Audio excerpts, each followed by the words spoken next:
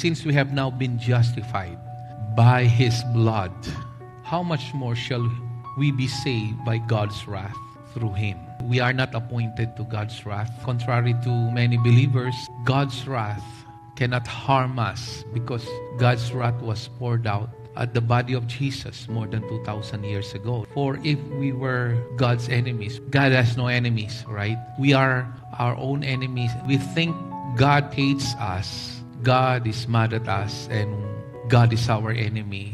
For only one reason, Paul declared, because of our evil behavior. But God, when He sent His Son, and we realized that it was His forgiveness, yung biyaya niya, yung pagmamahal niya ay higit sa ating mga kasalanan. We were reconciled to Him through the death of His Son. How much more, having been reconciled, shall we be saved through His life? I can sleep like a baby because I know by God's grace, all my sins are forgiven because of the blood of Jesus. So if you have this hard time forgiving yourself, we think it's humility, but it's the exact opposite. Humility means despite what you are experiencing or feeling, you submit to what the Word of God declares. Peter, I remember, contrary to his logic, when he said, All night long, Lord, hindi kami nakahuli ng isda, but because you said so, I will throw the nets. He obeyed. That is humility. Whatever we see is temporal. Whatever is unseen is eternal. We are used to live by sight. But God is teaching us to live by faith. By faith means we live by the promises of God, by the Word of God, by the principles that God laid before us through His Son. Jesus said, look at the lilies of the field and the birds of the air. Hindi sila napapabayaan. And Jesus said, do not worry about tomorrow, for tomorrow will worry about itself. Each day has enough trouble of its own. A 105-year-old woman was asked what is her secret to longevity of life. She said, I live one at a time. It's the same principle. You cannot predict what is ahead of you, but you can trust the God who holds what is ahead of you. If we will put it in a very witty way, it simply means do not problem your problem. Let your problem problem you because God will take care of your problem. Because you belong to Him.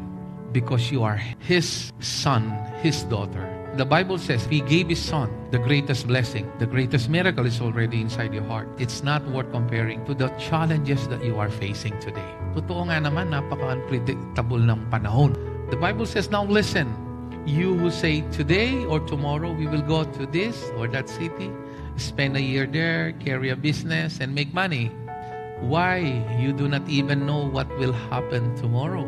Kayo po na nakaranas ng near-death experience. Kayo po na mga pag nagkasakit eh, parang kala nyo katapusan nyo na. Yung magising ka na okay ka, walang sakit, hindi kayo tinatakbo sa ICU, that's more than a blessing. And here we are, ang dami nating pinoproblema. No? Nakalimutan natin every day is a gift. That's why it's called present. That's why every day we give thanks. The key to Christianity is not, oh, pag natupad na yung pangarap ko, doon ako magiging masaya. Oh, pag nakabili na ako ng kotse para hindi ako nakikipagsiksikan sa, sa mga sasakyan. Oh, pag nakabili na ako ng bahay para hindi na ako nangungupahan. No, no, that is not the key. The key is while waiting for those to be fulfilled, you are satisfied and happy because you are in Christ. And whenever the Lord sees you that you are satisfied at kontento ka kung sino ka kay Kristo, He can move in your situation because your faith is not based on material things. It is based on who He is in your life.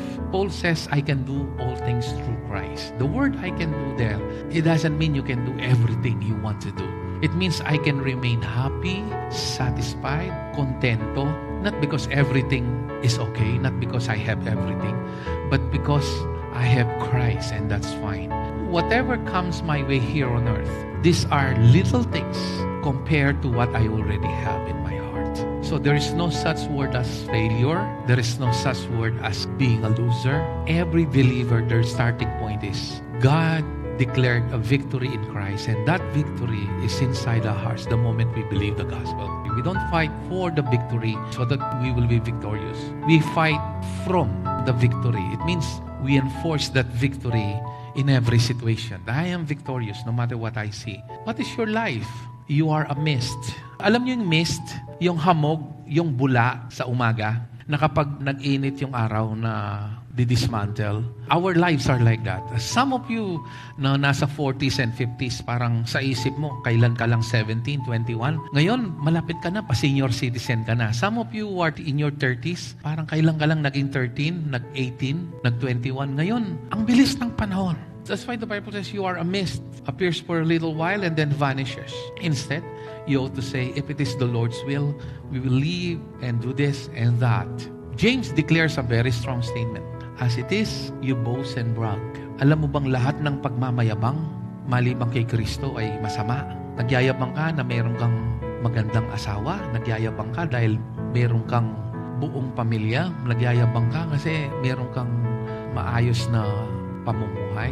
Hindi yan dapat ipinagyayabang. Ang sabi ng Biblia, yan ay dapat pinagpapasalamat. All such boasting is evil. That's why the Bible says, give thanks in all circumstances. But whenever you understood grace, you understood that grace is not about entitlement. I don't deserve anything here.